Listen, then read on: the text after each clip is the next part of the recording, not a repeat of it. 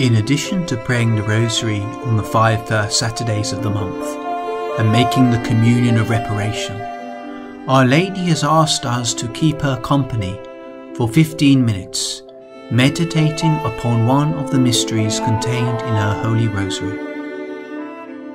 Today we join her in contemplating the finding of the boy Jesus in the temple.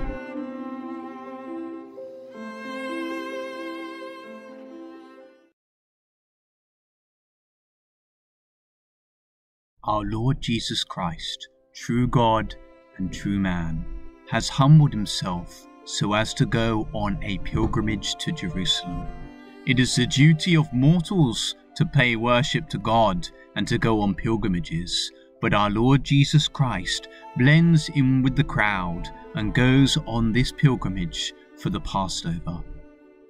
After the days of the feast were accomplished, Scripture tells us, the boy Jesus was left behind in Jerusalem, his parents going on ahead, not realizing that he had remained behind. Many will wonder how is it possible that his parents could leave him behind? Were they ignorant of him? Were they in some way neglecting their parental duties? Far from it. The mystery of God's work is at hand. Saint Bede the Venerable tells us, Someone will ask, how was it that the Son of God, brought up by his parents with such care, could be left behind from forgetfulness? To which it is answered, that the custom of the children of Israel, while assembling at Jerusalem on the feast days, or returning to their homes, was for the women and men to go separately and the infants or children to go with either parent indiscriminately. And so both Mary and Joseph each thought in turn that the child Jesus, whom they saw not with them, was returning with the other parent.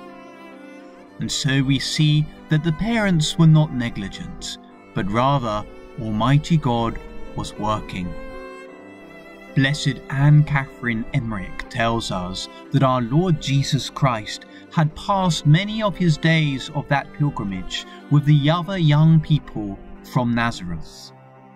He had participated very devoutly in the feast day. Indeed, our Lord was known to many people in Jerusalem. Our blessed saint relates In the first visits, Jesus had already excited attention in Jerusalem among the friends with whom he and his parents stayed. Also among the priests and doctors. They spoke of the pious, intelligent child, of Joseph's extraordinary son, just as among us one might at the annual pilgrimage notice in particular this or that modest holy looking person, this or that clever peasant child, and recognize him again the next year. So Jesus had already some acquaintances in the city when, in his twelfth year, with their friends and their sons, he accompanied his parents to Jerusalem his parents were accustomed to walk with the people from their own part of the country, and they knew that Jesus, who now made the journey for the fifth time, always went with the other youths from Nazareth. And so on that day of departure, our Lord, by his own design, chooses to stay behind in Jerusalem. St. Bridget of Sweden relates that during those days, our Lord lived like a beggar. He lived on the streets asking alms from those who were still in Jerusalem. What detachment, what great love of poverty that we see in our divine Lord, even from his earliest days, true God and true man. He seems to take a delight in having the lowest of positions, in being overlooked by men, in blending in with the lowest of the low in being a poor beggar in Jerusalem. Blessed Anne Catherine Emmerich further relates that our Lord attended various schools during those days. He participated in lectures that were intended for those who were training to be priests of the Jewish religion or Levites. There were a number of such schools in Jerusalem, and our Lord attended three of them, asking questions in much the same way that it is depicted in St. Luke's Holy Gospel when his parents find him. Blessed Anne adds that Jesus, by his questions and answers, so astonished and embarrassed the doctors and rabbis of all these schools that they resolved, on the afternoon of the third day, in the public lecture hall of the temple, and in the presence of the rabbis most deeply versed in the various sciences, to humble the boy Jesus. The scribes and doctors had concerted the plan together for although our Lord had pleased them at first, in the end they had become vexed at him. Thus is how the divine words of our Lord are still treated. Wisdom uncreated, and yet how it offends the ignorant, the arrogant, those who prefer the wisdom of this world, those who prefer not to be humbled by the teaching of the church, those who would prefer not to have to change their lives.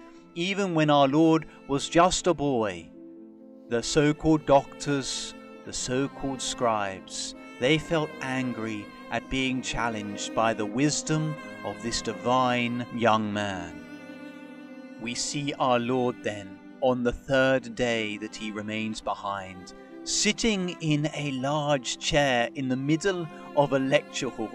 This boy, barely 12 years old, sitting in the center of the lecture hall with rabbis, with scholars on either side. They think this is their moment to humble this boy from the rural town of Nazareth. But our Lord shows his wisdom. He shows his wisdom in every subject that they propose. And our Lord does the same in our lives. Share with our Lord the problems that you have the questions that you have in every affair of life. He is the expert in astronomy. He is the expert in architecture. He is the expert in medical science. He is the expert in scripture. He is the expert of every branch of human knowledge. If you are a student, go to our Lord frequently with your questions. If you are a teacher, be humble. Go to our Lord with your questions. Jesus, the eternal wisdom of the Father, will assist you in your tasks. For those who were pure of heart, those true Jews of old, this moment was a graced moment. We are told by St. Bridget of Sweden that our Lord was so fair of face that no one, not even someone very sad at heart, could see him face to face without being cheered at his sight. The righteous were cheered with spiritual comfort. Even the wicked found a relief from their sorrow of the world for as long as they looked on him. For that reason, people who were sad used to say, Let us go and see Mary's son, and at least find some relief as long as we are there. We are told by Blessed Anne Catherine Emmerich that some of the scholars treasured our Lord's words as purest gold, but they were silent, they were humble, they delighted in being with our Lord. Now we turn to our Lord's parents. Origen asks, But why did they seek him in sorrow? Was it that they thought he might have perished or been lost? It could not be. For what should cause them to dread the loss of him whom they knew to be the Lord? No, they sought Jesus, lest perhaps leaving them behind, he might have returned to heaven, to descend at another place at another time. Other saints teach us that this was Our Lady's moment of test, her moment of trial. Our Lady could never lose our Lord spiritually, nor could she lose him by sin. But here, Our Lady lost him physically. Here, she could not find him. He was no longer there. She searched, she could not find him. This is the experience of the mystic, of the saint to whom our Lord hides his face, and they feel as if they've been abandoned by him. Our Lady experienced this in a most real and profound way.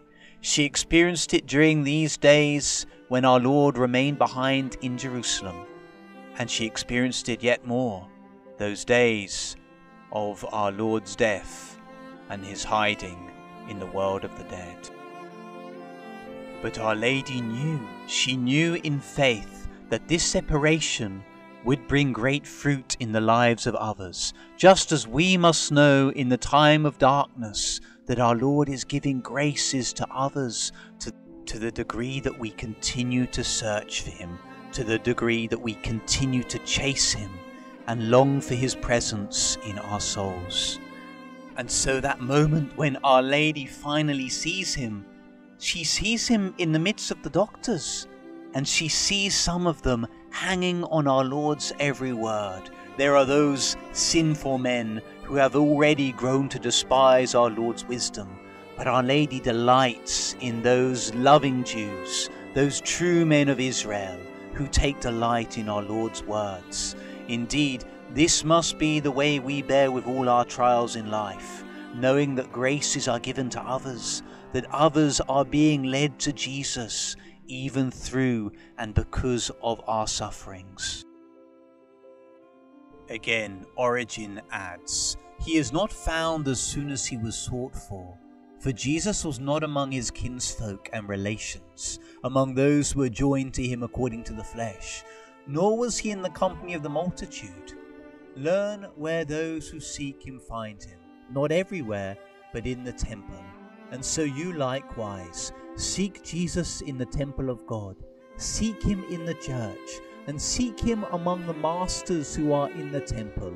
They did not find him among his kinsfolk, for human relations cannot comprehend the Son of God, nor among his acquaintances, for he passes far beyond all human knowledge and understanding. Where then do they find him? In the temple. If at any time you seek the Son of God, seek him first in the temple. Go there, and truly shall you find Christ the Word, and the wisdom of God. Yes, our Lord is in our temples. He's enclosed in the tabernacle, and we can find him. We can be taught by him from the tabernacle. Let us do so frequently. Let us go to him with all our concerns, all our cares. There we will find true relief. There we will find hope. There we will find guidance and instruction. Blessed Anne Catherine Emmerich adds, Jesus had been teaching two hours when Joseph and Mary entered the temple. They inquired after their child of the Levites whom they knew, and received the answer that he was with the doctors in the lecture hall. But as they were not at liberty to enter the hall, they sent one of the Levites in to call Jesus. Jesus sent them word that he must first finish what he was doing. Mary was very much troubled at his not obeying at once, for this was the first time he had given his parents to understand that he had other commands than theirs to fulfill. Joseph was quite awed and astonished, but he kept a humble silence. The boy Jesus continued to teach for another hour, and then he left the hall. Here he met his parents in the porch of Israel, the women's porch. His hearers were left confounded, confused, and some enraged. Mary, however, drawing near to her son, said, Child, why have you done this to us? Behold, your father and I have sought you sorrowing. But Jesus answered gravely, Why have you sought me? Do you not know that I must be about my Father's business?